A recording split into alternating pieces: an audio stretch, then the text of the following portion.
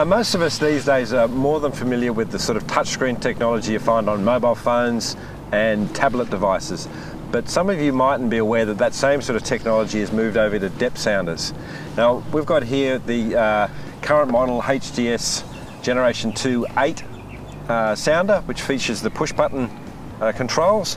My mate Steve Gill, who's a well-known tournament angler, has been using this sounder for all his tournament work in the last little while. So he's pretty familiar with how this unit works. But what we're going to do is a bit of an experiment is actually swap this unit over with the latest HDS touchscreen model which features, you know, instead of buttons, you actually press icons on the screen. And what we want to do is see how Stephen finds uh, the touch uh, function as opposed to pushing the buttons and just see you know if it's going to be giving him better results for his fishing um, when he's out there competing with the rest of the Bream tournament guys. So we'll just give you a basic rundown on how the, the push button version works then we'll swap over to the touch and uh, we'll uh, see how it all interrelates.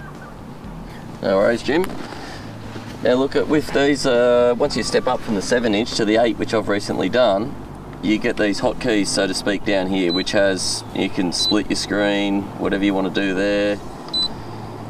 Different, so that's a different depth contour. Want to go back to no splits.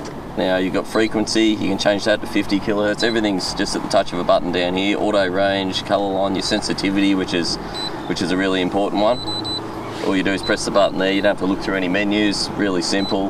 I find this a great advantage over the 7 inch which I owned for a few years. Now, pages, you can click, have, have your chart, uh, this is what I quite often do, have a sonar and a chart on the one screen if I'm travelling, that way I've still got the depth, I know if I'm coming up into shallow water, but I've also got a map of the waterway I'm on. Other than that, you've got your structure scan, which all of these you have to use, go onto a pages menu, pages, just click across. There's no biggie to any of this, it's all very simple. Radar, info, all your engine levels, fuel, all that sort of thing. Not up because it's not running. So look, that's a pretty that's pretty much the sound that most people have been used to using over the years. It's got everything you need on there. Not very difficult. Pretty self-explanatory really. I mean, you work it out in no time once you get used to using it. So, I, guess, I guess one of the things we're interested in looking at here with this experiment, because we've never, you've never used the touch I've before. never used that, no. And um, I guess it'll be interesting just to see how intuitive it is, whether you can actually really pick it up quickly. Yeah, Of course, right. it's actually icons and Yep. rather than buttons. Yeah, that's right. I mean, look, we're not even going to look at the menu when we, we plug this little baby in, so we'll just see it. That's right, there will be a test to see how Yeah, easy it is. yeah. So. Well, it, it, it, it's something I think that you know people now are, are used to sort of pressing icons on screens for, Absolutely, for yeah. all the sort of mobile devices that we use. So Yep. it will be quite interesting to see your reaction when you're going from you know uh, a lifetime of using a, a a push button type of one to, Yep. to this latest new technology. Yeah, sure. So let's get this guy off and stick this fella on and see how we go. No worries, we'll do. Rightio guys, we've we've plugged this HDS 9 in, in lieu of the HDS 8. As you can see, pretty similar unit. The only thing is this screen is, because a lot of this actual area of the sounder is taken up by buttons, you don't have that in this case.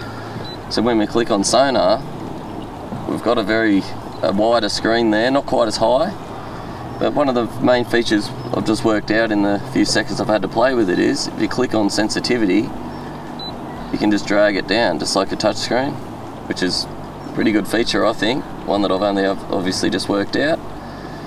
And Mate, we- do, do you sort of find that to be quite a natural thing to do? I mean, it seems yeah, pretty. I- yeah, I do because just you used to, as you said before, there's a lot of lot of devices these days are touch screens. So you know, you sort of look at it and go, oh, you just you, you go to do that on devices that aren't even capable of doing that. yeah, yeah. Yeah. So there's other things here, like the chart, which you don't actually zoom by what a lot of people will be used to doing, just scratching your fingers along like that, like with an iPad, or, for example.